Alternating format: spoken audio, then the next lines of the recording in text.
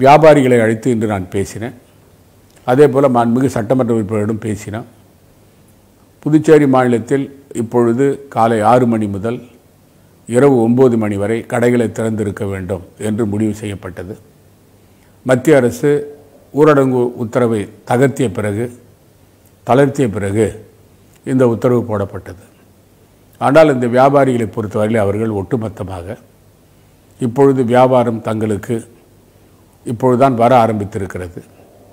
ஆகவே காலக்கெடுவை அதிகமாக குறைக்காமல் காலை ஆறு மணியிலிருந்து இரவு ஏழு மணி வரை கடைகளை திறந்திருப்பதற்கு மாநில அரசு முடிவு செய்ய வேண்டும் என்று கூறினார்கள். அது எங்களுடைய கூட்டத்திலே இன்று அது சம்பந்தமாக எனக்கு முடிவு செய்து காலை ஆறு மணியிலிருந்து இப்பொழுது உள்ள இரவு ஒம்பது மணிக்கு பதிலாக இரவு ஏழு மணி வரை கடைகளெல்லாம் நாளை மறுநாளிலிருந்து திறந்திருக்கும். ஏழு இரவு ஏழு மணியிலிருந்து இரவு எட்டு மணி வரை அவர்கள் வீடுகளுக்கு செல்வதற்காக நேரம் கொடுக்கப்பட்டிருக்கிறது. இரவு எட்டு மணி முதல் மறுநாள் காலை ஆறு மணி வரை அனைத்து மக்கள் மக்கள் நடமாட்டம் இருக்கக்கூடாது. ஊரடங்கு உத்தரவு அமலில் இருக்கும் என்று முடிவு செய்யப்பட்டது. இதே போல் த- பக்கத்து மாநிலமான தமிழகத்தில் ஊரடங்கு உத்தரவை முழுமையாக ஒரு நாளைக்கு குறிப்பாக ஞாயிற்றுக்கிழமை தமிழக அரசு அறிவித்திருக்கிறது. அந்த கூட்டத்தில் பேசிய உறுப்பினர்கள் எல்லாம் நாம் பொதுமக்கள் மத்தியில் குறிப்பாக திருமண நிகழ்ச்சிகள் இறப்பு நிகழ்ச்சிகள் திருவிழாக்கள் போன்றவற்றில் மக்கள் அதிகமாக வருகிறார்கள். அவர்கள் முகக்கவசம் அணிந்து கொண்டு வருகிறார்கள். ஆனால் சமூக இடைவெளியை கடைப்பிடிப்பதில்லை. அவர்கள் சமூக இடைவெளியை கடைப்பிடிக்காத காரணத்தால் புதுச்சேரி மாநிலத்தில் கொரோனா தொற்று நோய் பரவுகிறது. வெளி மாநிலத்திலிருந்து வருகிறவர்களால் கொரோனா தொற்றுநோய் நம்முடைய மாநிலத்தில் பரவுகிறது. ஆகவே இதற்கு மாநில அரசு நடவடிக்கை எடுக்க வேண்டும் என்று கூறினார்கள்.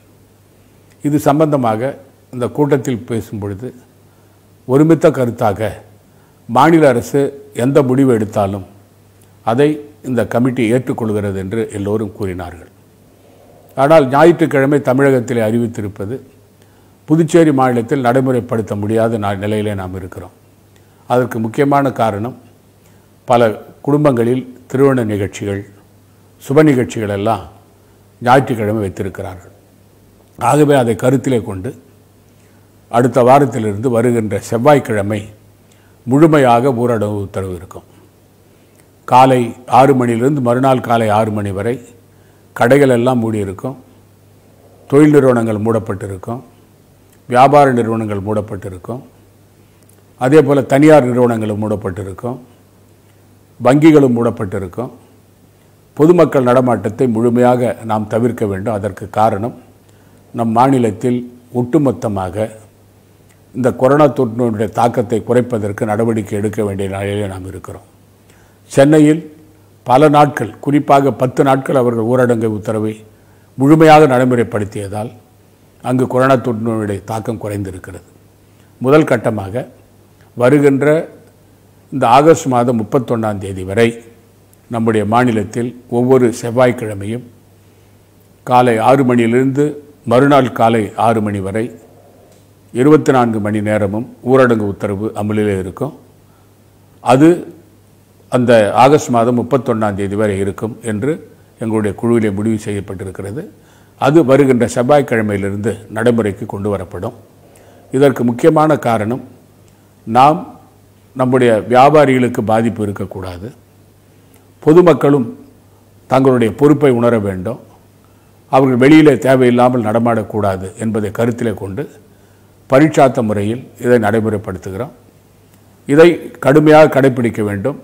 மீறுபவர்கள் மீது கடுமையான நடவடிக்கை எடுப்போம் என்று கூறி வருகிறேன். இது சம்பந்தமாக பலர் என்னிடம் தொலைபேசியிலும் மற்றும் செய்திகளும் அனுப்பி வாரத்துக்கு ஒரு நாள் நீங்கள் முழு ஊரடைப்பை புதுச்சேரி மாநிலத்தில் நடைமுறைப்படுத்த வேண்டும் என்று கோரிக்கை வைத்திருக்கிறார்கள். இந்த குழுவிலும் அந்த முடிவு வந்திருக்கிறது. ஆனால் மாண்புமிகு சட்டமன்ற உறுப்பினர் கருத்து மாற்று மாறாக இருக்கிறது. ஆனால் குழுவில் இந்த முரு முடிவு வந்த பிறகு அந்த குழுவுடைய முடிவை ஏற்று ஒவ்வொரு வாரமும் செவ்வாய்க்கிழமை வருகின்ற ஆகஸ்ட் முப்பத்தொன்று வரை இந்த முழுமையான கடை அடைப்பு புதுச்சேரி மாநிலத்தில் இருக்கும். அன்றைய தினம் மளிகை கடைகளும் திறந்திருக்காது காய்கறி கடைகளும் திறந்திருக்காது மற்ற எந்த நிறுவனங்களும் திறந்திருக்காது என்று நான் கூறிக்கொள்கிறேன். பொதுமக்கள் ஒத்துழைப்பு தர வேண்டும். குறிப்பாக திருமண நிகழ்ச்சிகளில் ஐம்பது பேர்களுக்கு மேல் இருந்தால் அந்த திருமண மண்டபம் பூட்டி சீல் வைக்கப்படும். இறப்பு நிகழ்ச்சிகளில் இருபது பேருக்கு மேல் இருக்கக்கூடாது என்று முடிவு செய்யப்பட்டிருக்கிறது. இந்த வருவாய்த்துறை அதிகாரிகள் அவைகளெல்லாம் கண்காணிப்பார்கள்.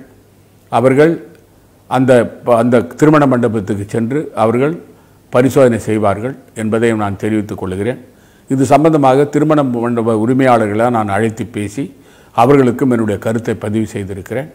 ஆகவே புதுச்சேரி மாநில மக்கள் நம்முடைய மாநிலத்தில் கொரோனா தொற்று நோய் குறைவதற்கு புதுச்சேரி மாநில அரசோடு ஒத்துழைக்க வேண்டும் என்று நான் கோரிக்கை வைத்திருக்கிறேன். நிதிநிலை சீரடைந்த பிறகு தேவையான வருமானம் கிடைத்த பிறகு மத்திய அரசு நமக்கு கிடைத்த நிதி வந்து கிடைக்க வேண்டிய நிதி வந்த பிறகு பூச்சேரி மாநில மக்களுக்கு நிவாரணம் கொடுப்பது சம்பந்தமாக முடிவை எங்களுடைய அரசு எடுக்கும்.